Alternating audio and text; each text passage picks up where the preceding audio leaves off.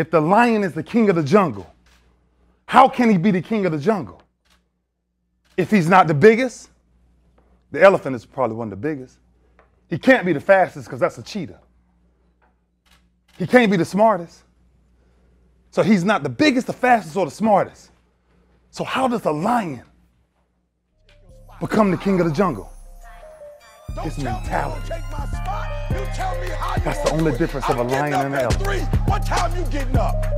When a lion walks up and sees an gonna have to elephant, he thinks lunch. An elephant thinks run. Cause you're gonna have to stay up longer to beat me.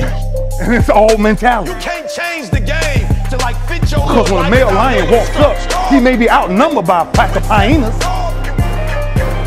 but I'm king of my jungle because of my mentality.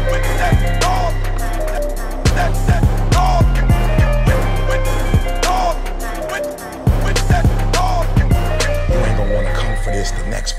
You gonna think twice about coming after me. I need you to put the type of effort forward that the world knows don't come from me.